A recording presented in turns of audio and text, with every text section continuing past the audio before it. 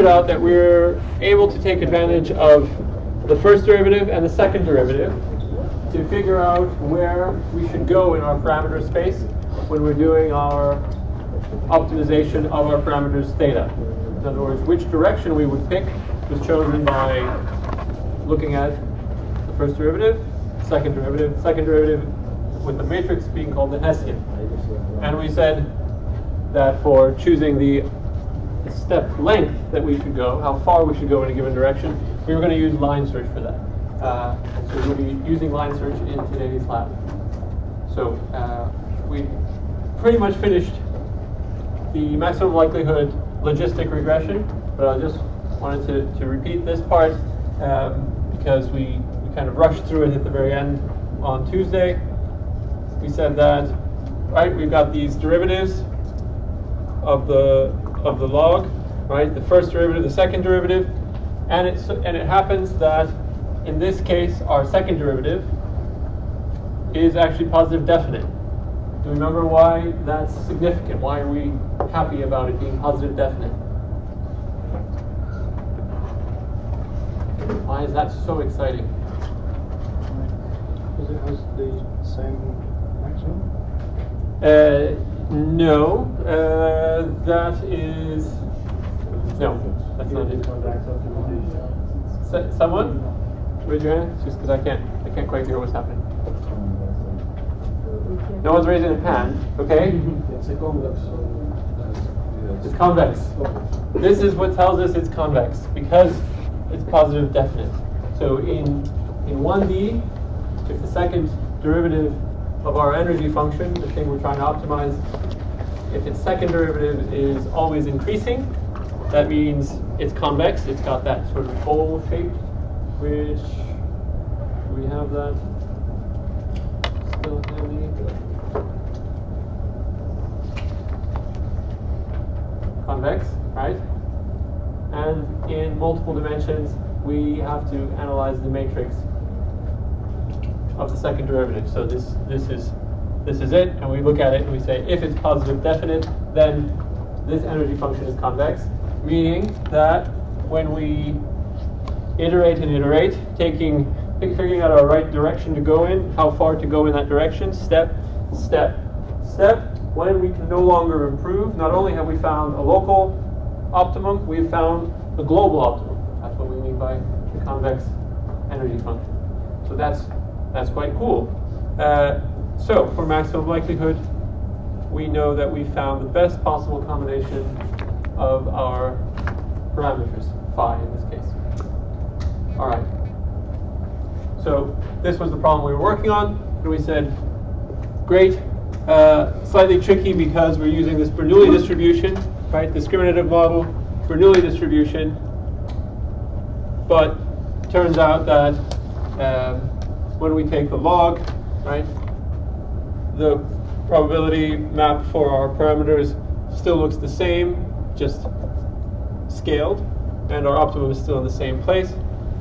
And now we can optimize, iterate until we have the good parameters, until we have this shape of um, this shape of logistic sigmoid function, which models our, our data. If we look at a 2D version of this, where we have, this is our example uh, data points, each data, each datum, each vector here represents a training example of a female, uh, sorry, which was this? This was the male faces, and these were the female faces. And when we have this sigmoid function, you can see how it kind of starts off low, rises until it turns white here at the top. If we look at the boundary, this middle point, right, 0.5 probability, that's our decision boundary. So, is there anything wrong with our decision boundary?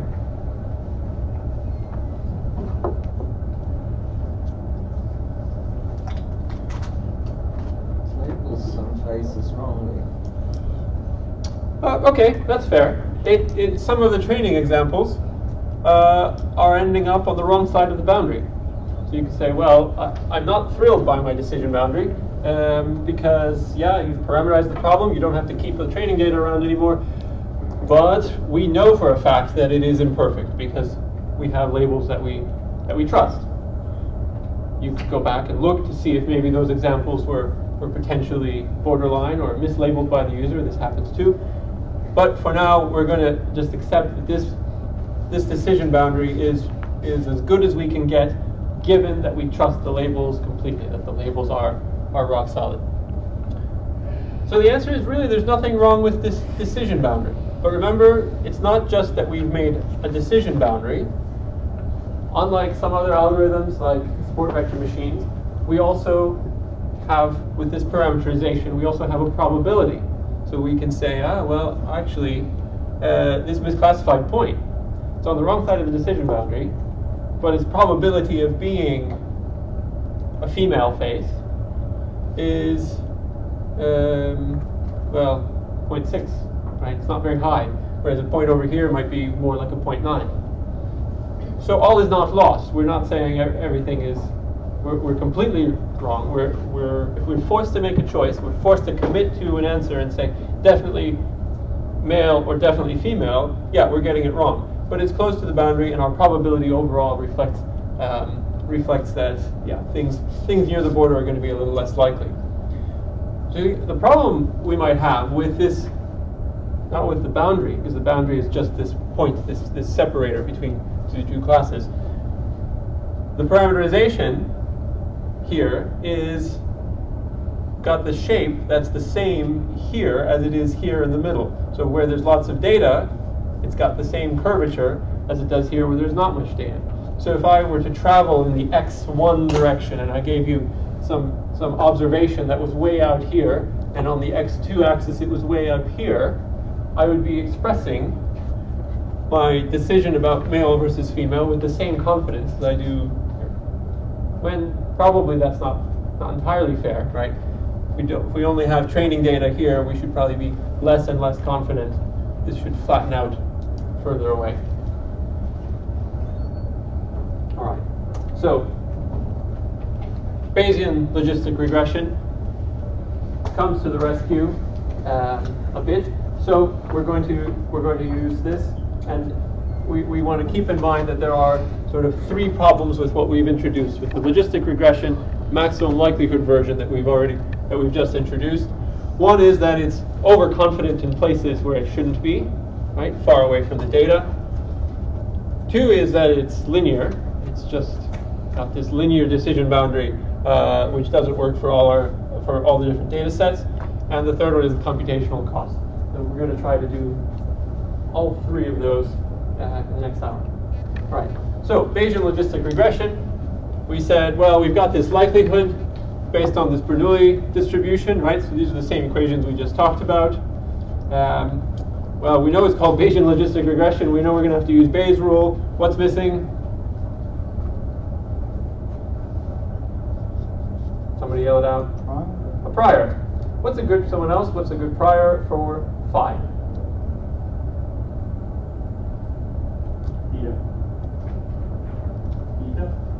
Beta. Distribution. Um, we don't, so a beta distribution would be conjugate, which is a, a, a good reason, I think, to suggest that.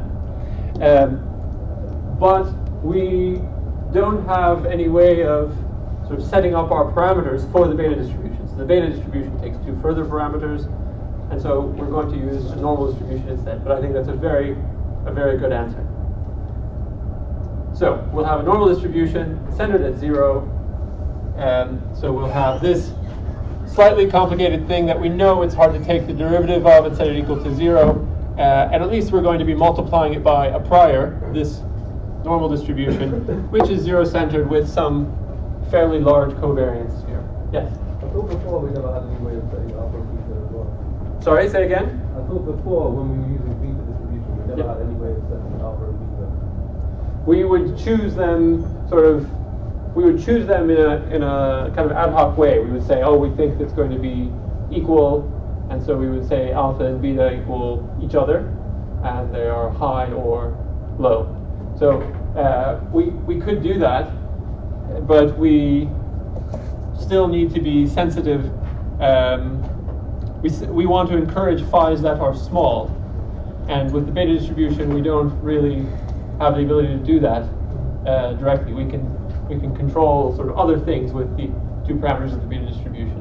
But this is what we're really after, is to say, go for small um, and have some fuzzy covariance around it. Yes? Could we use a beta distribution since uh, f is uh, not varied? Uh, we would have to use Multivariate. the multivariate beta distribution. And uh, we do the same thing as we did the other time to have sparse uh, pi, use a beta distribution, for example? We can and we will. Good. Good. Big fuzzy Gaussian distribution on our phi's.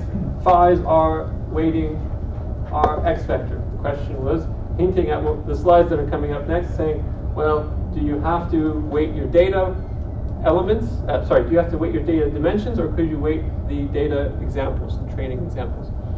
But I have to introduce this Laplace approximation because um, if we have this normal distribution, right, that one, times this Bernoulli distribution, we're going to have an overall posterior distribution for our parameters, which is got a funny shape, and it's hard to do a closed form solution for that.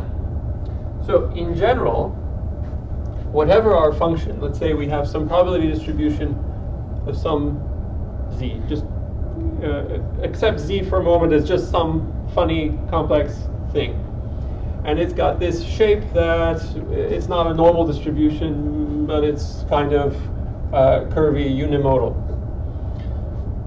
Then we could make an approximation of that probability distribution by saying, look, I, I'm going to find the Gaussian. I'm going to find a normal distribution whose mean is the same as the mean of this blue blue curve, this funny, complicated blue curve. So I'm going to make sure the means of the red and the blue align. And I'm going to make sure that the shape, the, the spread of this normal distribution somehow matches the, the distribution of the blue, the blue function. And the somehow, we can be more specific. We're going for, this, this is the Laplace approximation, we would like for the second derivatives of these two functions to agree. So for this Gaussian, we have two things we control, the mean and the variance. So we set the mean of the red to equal the mean of the blue, and we set the variance, we adjust it until we get the second derivative of this normal distribution to be the same as the second derivative of this complex thing. Okay? So this is our Laplace approximation, and we're going to be we're going to be using it here, and we're going to be using it again in, the sparse in the dual representation when we get there. All right. So when we take the log, remember we had our likelihood and our prior multiplied together. You take a log, now they're added together. We approximate we approximate probability of phi with this new function q of phi, which is, we said, a normal distribution with some very specially selected mean and covariance. The mean is going to be the maximum likelihood set of set of parameters phi hat that we got using the maximum likelihood method. Remember, we're, we're in the Bayesian section, right? Remember, we're in the Bayesian section. We're saying, oh, I would like to find my parameters, but I want to do the Bayesian estimated version of the parameters. Well, unfortunately, you have to first do the maximum likelihood so that you can know what the maximum likelihood phi is. That tells you what your mean is. And we will set our covariance to be this, this reciprocal, this 1 divided by the second derivative of our Laplacian with respect to each of the, the parameters. This second derivative, if I go back here, you should be thinking, wait a minute, you could evaluate the second derivative of this complex function in all sorts of places. And clearly, there'll be places where it does more or less agree with the red curve. That's true. That's why we're setting our covariance so that it agrees at the mean. At this, if you can read this from the back row, is where phi in this second derivative, where phi equals phi hat. The phi hat we're using here, the phi hat we're using to define our mean mu. Okay, so we're saying I'm not I'm not going to I'm not going to worry. I'm going to close my eyes and my ears and just uh, ignore what happens, how far these deviate from each other further away. I'm just going to make sure to align my red curve in terms of the mean, and I'm going to make sure that when I evaluate the red curve here with a calculated second derivative, its second derivative here has the same value as the second derivative of the blue curve. Yes. Uh, sorry, again, what's, what's the reason for introducing Laplace approximation? because we have this difficult situation that we have a Bernoulli distribution for our likelihood, and we have our normal distribution for our prior. And so we would love to find the Bayesian estimated version of our parameters phi, find the expression for it, take the derivative, set it equal to zero, and then solve, pull out the variable phi, or the vector of phi 1, phi 2, phi 3, and say, oh, this is the closed form equation we have for it. This is what we did with regression. We said, oh, right, okay, so here's your equation for phi. We, we had a closed form equation then. But instead, because just like for the maximum likelihood we had to iterate, here we're also having to iterate.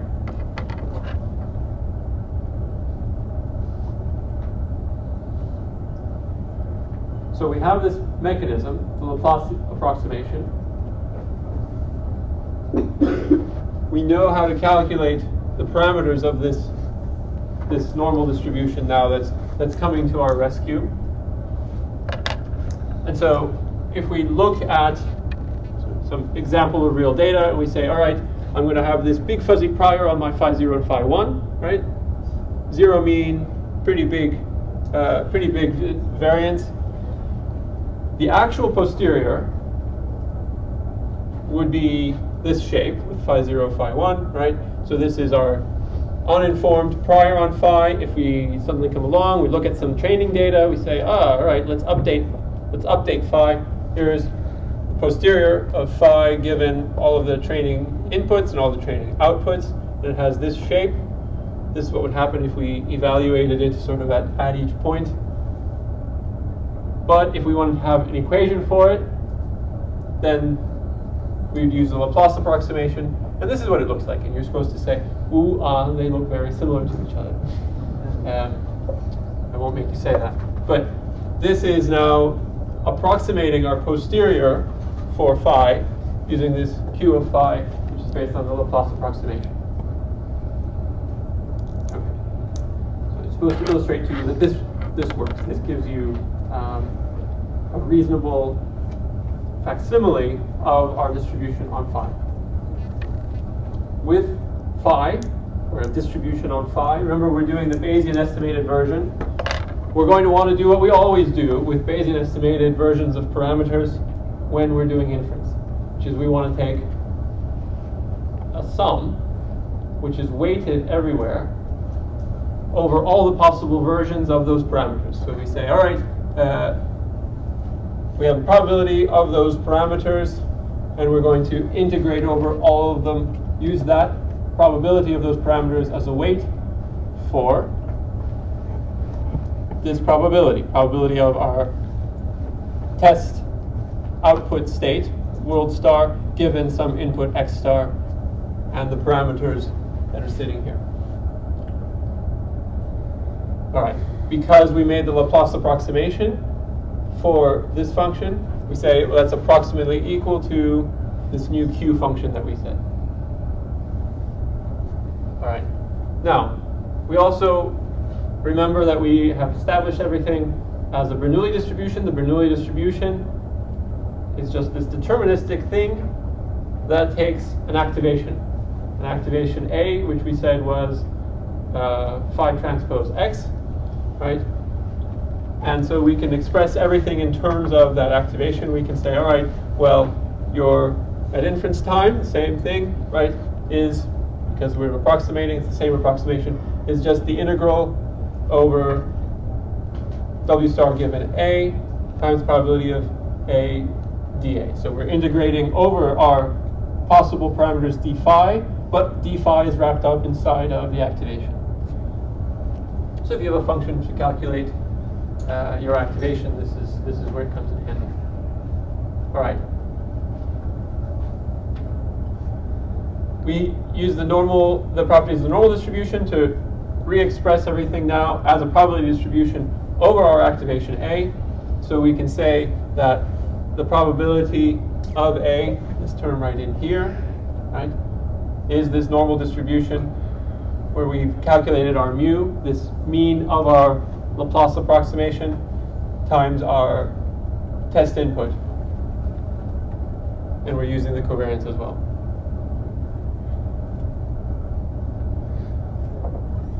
And that should probably be an X star.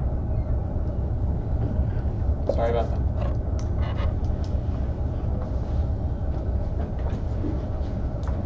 All right. So we have the ability to do a Bayesian estimated, a Bayesian estimate of our parameters phi. We can do inference. And we will do one last approximation, sort of non-obvious. Uh, so there are sort of proofs elsewhere of this. Um, but if we are trying to compute our posterior probability for distribution on world state, we can do a numerical integration on A. So coming back here, right, we can put in a bunch of different A's and do a numerical integration evaluating this function.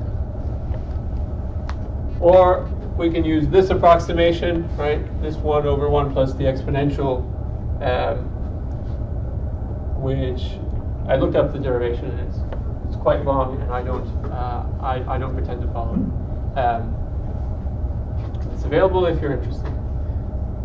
And so yes, we have done one approximation to say we're going to have a normal distribution instead of, uh, we're going to have our Laplace approximation to our, uh, to our distribution. And we're doing potentially a second one so that we can, in closed form, do this integral over the possible activations. And what you should see here is this is the numerical integration version where we really integrate the sigmoid function of the activation times our normal distribution. This is our this is the new version of our prior. Or if you use the approximation, right, this is the picture you get. So you should see that they're again very similar. Yes. Um, do we know how much error there is in these approximations? Uh, It is dependent on your training data, but there are proven bounds on the sort of upper limit of what you can get as an error. So the the sort of minimum and well, I guess there's not not really important what the minimum is. The maximum deviations do have calculated upper bounds. All right. So we are going to be following the same track that we did with regression. Now that we have these tools, we're going to be reusing them, including this approximation uh, when we need to, going now uh, towards towards the dual representation. All right. Uh, a few things to say. Obviously, uh, the maximum likelihood representation that we did initially, right? This red curve. The Bayesian one is still a very similar shape. The decision boundary is still in the same place, but you should see it's less confident further away from the data. And that's what we like to see here, right? This is getting, this red is getting fuzzier and the yellow is getting fuzzier the further away we get from the data. Got the gradient vector phi. Data is still, the training data is still misclassified in the same way as it was, as it was before. It's not much fuzzier. Uh, it is fuzzier though. So um, let's say if we plotted it bigger, then you would see it even fuzzier. But, can, but you can see that it is fuzzy. Let's see if my monitor if that works. No, I believe you. Okay. All right. So the question was already, uh, cat was out of the bag, right? Could we do similar things as we did with regression now that we've set up our classification problem using logistic regression? Uh, and the answer is yes. So we're going to do nonlinear logistic regression. You probably saw this coming already. Um, we're going to do the fantastic, wonderful approximation where we substitute in f of x instead of using x's. So where we had x, we're now going to have f of x.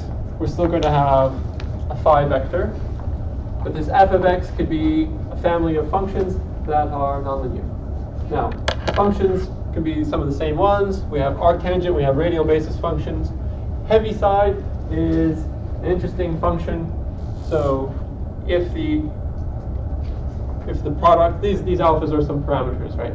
So they're parameters that we use for our arctangents or for our radial basis functions. They are parameters specific to this nonlinear basis function that we're using. The heaviside function basically says, well, if the thing, the argument in here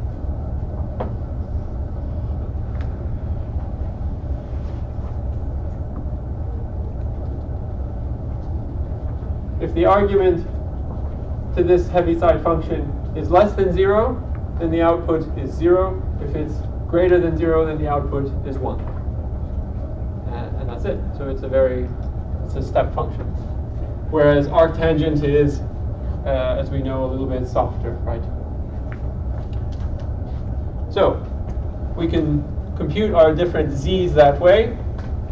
When we compute the first and second derivatives of our log of our model, right? Then we end up with these functions which are going to be uh, dependent on our parameters phi, just as they were before, but also on the parameters alpha.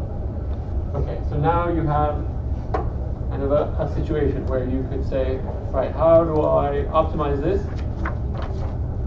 You could use these equations. Why are these equations a little bit different than the, than the previous ones? Well, because we could expand the, phi, the theta vector.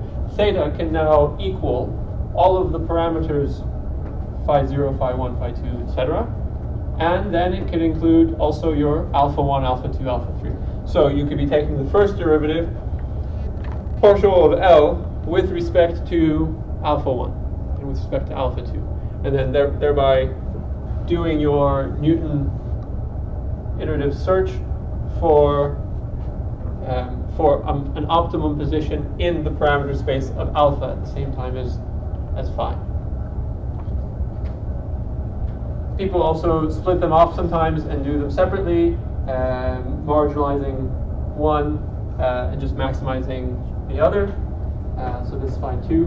But you can, with these equations, you can take the first and second derivatives and apply optimizations that we've already talked about. So what does this look like in practice? Uh, we have our family of basis functions.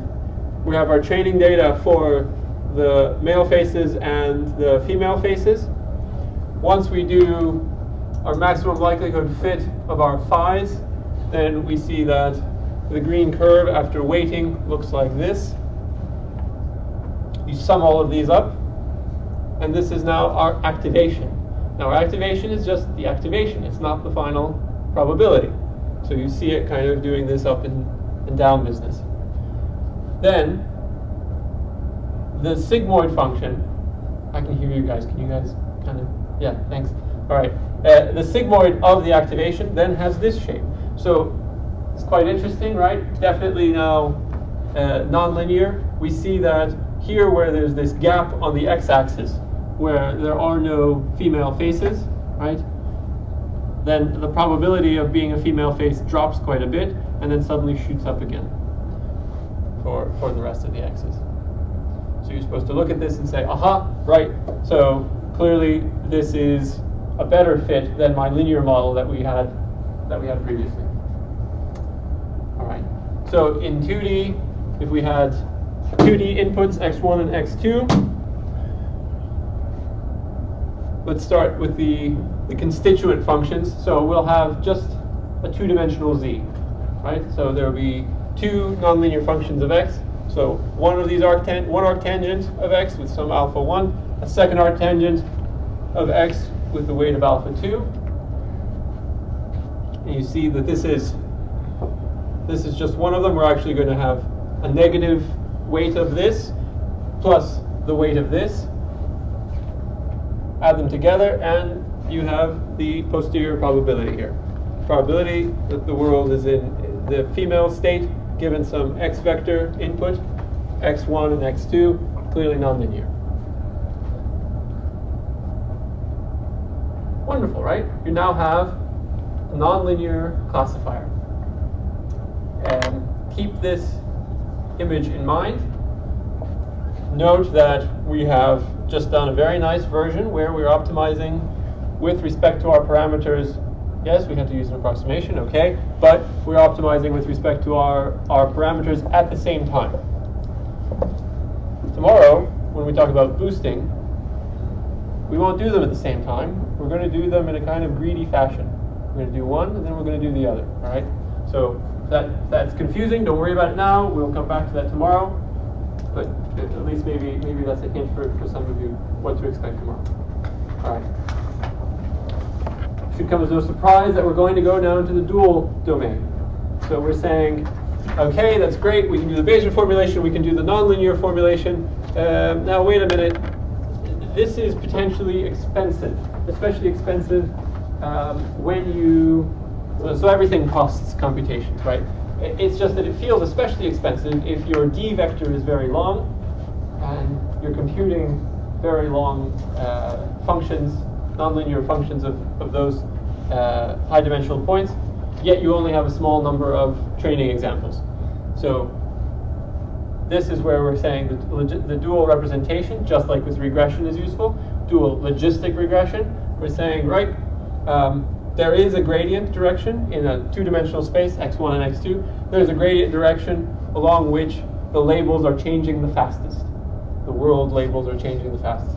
But we can represent that phi the way we've been doing so far, or we could represent it as a weighted version of two vectors, two basis vectors, maybe based on data point x1 and data point x2.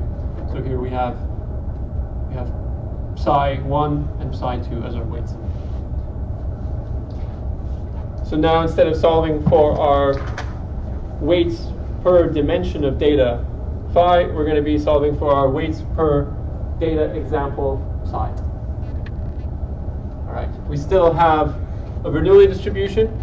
The Bernoulli distribution is still based on the sigmoid function of an activation, except that now the activation, instead of being some phi times x, is going to be a different phi times x phi based on psi and the training data.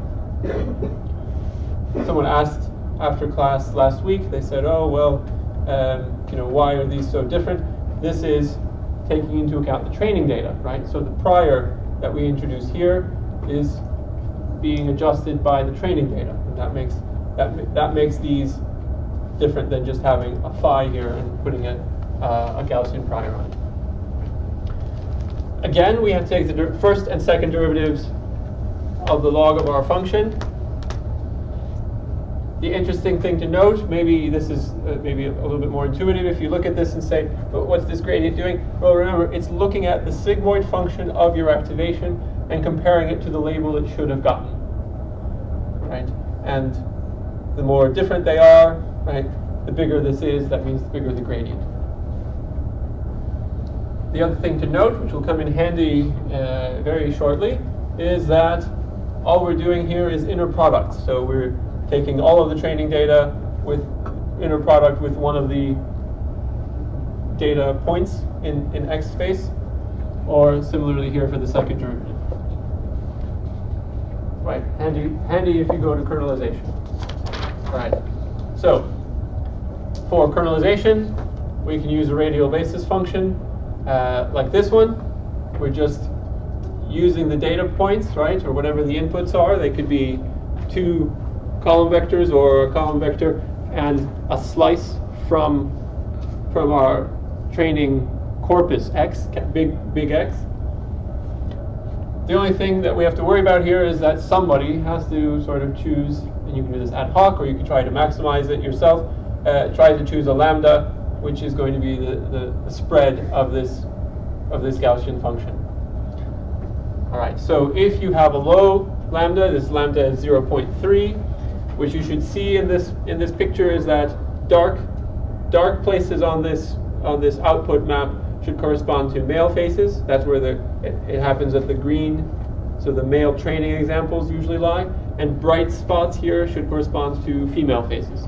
But because lambda is very low, it's very little regularization, right? The Gaussians for our kernel, our, our radial basis function here is is very localized, and so yeah, where there's an example, it just says yeah, very locally here. I'm going to say everything that basically lands at this same point is, is female, otherwise I'm very uncertain. If you go to the other extreme, you have a very high lambda of 0.3, then obviously a single data point there and everything here gets labeled as, as female. And if you go somewhere in between, uh, lambda point is 0.1, then maybe you get a slightly better better looking representation of, of the space, right? This is high confidence that it's female, but the, the confidence fades fairly quickly. All the data points here sort of fit in the same mode. Yeah, we still have this data point right next to the, the male, right next to the female, even though they're very close in, in feature space, in X space.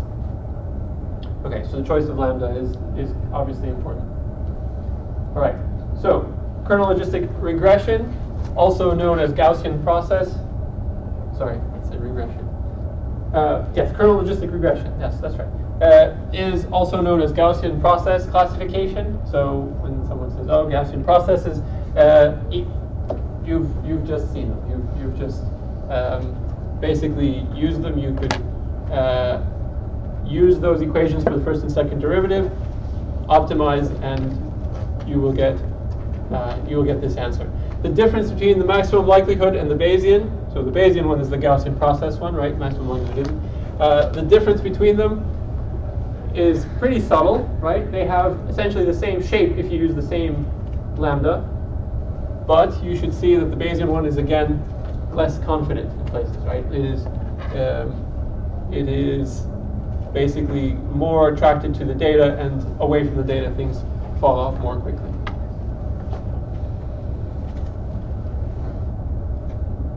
So we can press on with our dual representation. We can say, huh, we went through dual representation. We traded in, we, gave away our phi's for our psi's, but this was all using Gaussians for our psi's, right, as our prior psi. Why don't we use the student t distribution, and that way we won't be so dependent on all of our training examples. Uh, we can get away with just some of them. And maybe a benefit that isn't so obvious. Let me see if I have that. Uh, I have that here when you're when you're doing this evaluation here of x, oh, whichever one, x transpose x, i, right, you're going to have to do this same thing when xi is x star at inference time.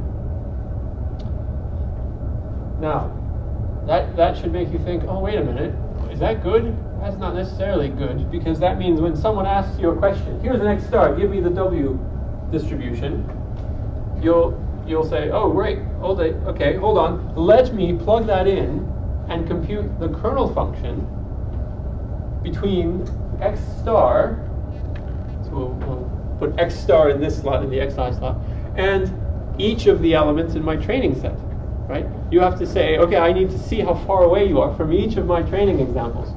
Okay, now, okay, if you have a small number of training examples, that's okay, but uh, you can see how that would be potentially expensive.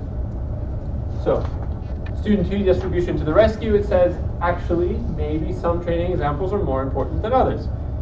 All of this we've already seen, mean variance and our nu, right, which is controlling controlling the spread of student t distribution. It's this it's this collection of Gaussians with all of the different variances, but all at the same mean. We're going to have that as our prior on our psi, Okay, so we have our integral of our normal distribution times our gamma distribution, and we have a product over multiple training examples. All right, this is fine. We've seen this before. We have our hidden variable hi, right? This is this is our hidden variable per training example.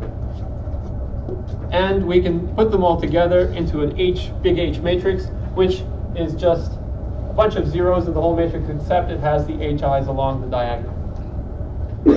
So we're interested in the diagonal in particular of, of that H matrix. Right, we've seen this before, and uh, you can anticipate that we're going to have to do an EM type solution. So we so this, this equation from the bottom is just moved up, right? So we just move this up to the top, and we say, all right, given this prior on psi, right, that goes here, we're going to integrate out psi, so we have to do this weighting probability of psi times our likelihood, probability of W given each of the, all the training data and that particular psi. But that, of course, is a Bernoulli distribution with a logistic sigmoid with a kernel function. So, hopefully, this is the scariest equation we'll see this term. Uh, hopefully, you see where the different components have come from. You're not worried about a kernel function. You know how to calculate one. You're not worried about psi because you know that that's going to be something um, that's coming from your E step when you when you are going back and forth between the hidden parameters and your parameters of your Gaussian. Logistic sigmoid is just deterministic, right? Bernoulli distribution, also you know how to compute it deterministically. So, remember our normal distribution times our gamma, that's because normal distribution times our gamma is a way of expressing our student t distribution, but using a normal, right? And the gamma as its prior. So we're going to move this equation up to the top. Right, so that's just sitting up there. All right, to solve this for relevance vector machines, let's just see how we're doing. Okay, we're doing we're doing really well. Actually, it's great. Um, we need to do two approximations. One is we're going to use the Laplace approximation that we saw before. Because right? All right, so we've got this double integral. We're integrating over the hidden parameters, and we're integrating over the parameters psi. So the integral over the parameters psi, this part, for a given function of psi, can be approximated with this equation. So um, non-obvious, but there's a proof for it. This comes out looking like this, which is still using our function, which we've seen, we've, we've used this as a normal distribution before, still use our function of psi here, but the integral part, right, is now this nice deterministic thing, 2 pi to the d over 2 uh, times the determinant square root of, of the determinant. Now,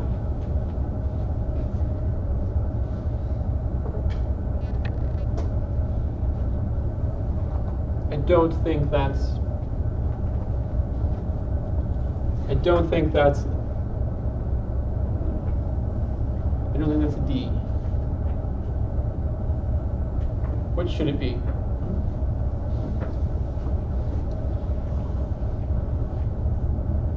D was the number of dimensions in our x vector.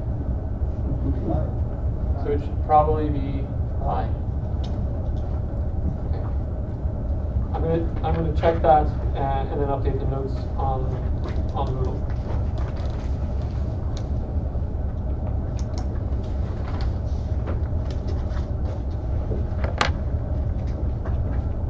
Okay, sorry about that. Uh, sorry about being unsure here. I, I think that should be I.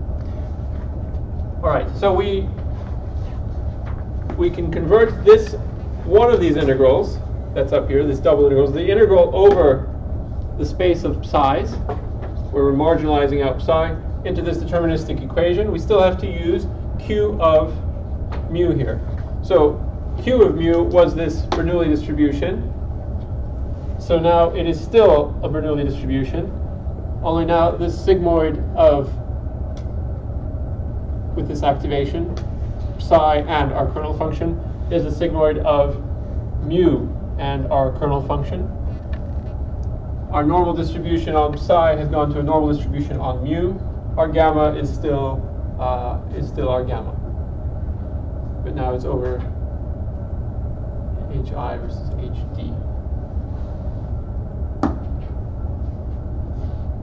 With this, we are ready for our second approximation. So this, this slides up. The second approximation is over h. We're saying um, I would like to integrate over h. I'd like to to ignore or, or not ignore. I'd like to take a weighted infinite sum, weighting at every location the poss- the probability of having that hidden parameter times what that hidden parameter would do to my posterior. But instead, we're going to maximize over it. We're just going to say, you know what? Instead of marginalizing, instead of um, marginalizing it out.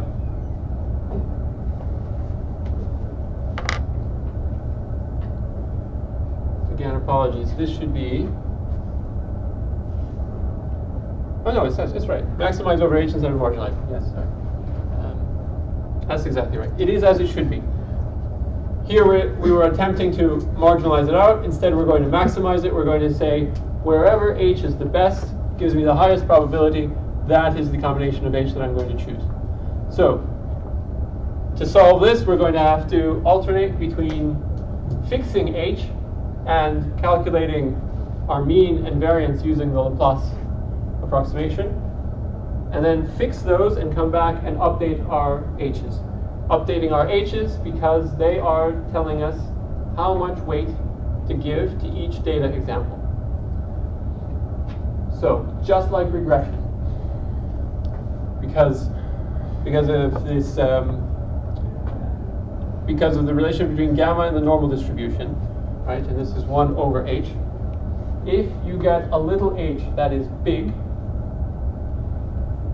does that mean that the corresponding data point is important to your classification or not important?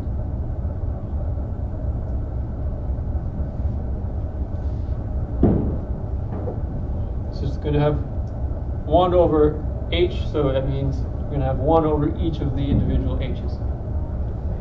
So big H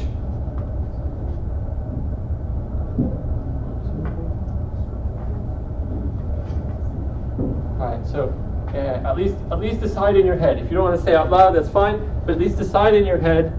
Choose a count and say, if h is big, then I think the corresponding data point x sub i is important or not important. Right? Okay. And the answer is that if x, if the h is big, then that data point is not important. If the h is big, that means that the that means the contribution of that data point is very small, and so the final solution doesn't depend on it. Well, doesn't depend on it much, right? And so you could then use that, keep that weight, or you could even threshold it and say, all right, I'm actually not going to worry about certain data points. And so for the same distribution of points, of training examples, uh, the green ones for the, the male faces, the, uh, the pink ones for the female faces we should see that we've only kept this one training example. All the other ones have basically negligible weights in the phi vector. And we've kept one, two, three, four, five of the female training examples. With this, we have our relevance vector classifier, gives us a probability everywhere, and of course we can threshold it at 0.5 at test time if someone really insists on having a def definitive answer, male versus female. Okay? That's, that's it for the dual representation. And I think that's going to be where we stop today. Tomorrow we'll do fitting, boosting, uh, all the way through to classification trees and random forests. And we will go through a number of wonderful examples where we'll be applying the classification algorithms we've seen. I now ask you to do the same procedure as we've done before. So I think it's time for the people at the at the beginning of the alphabet now get to go take a take a break. Is that right? Yes? No. People at the beginning of the alphabet take a take a break. People at the end of the alphabet go to the computer lab. Yeah, I'm at the end of it. uh, and, uh, start your classification practical. If you're taking a break, please come back.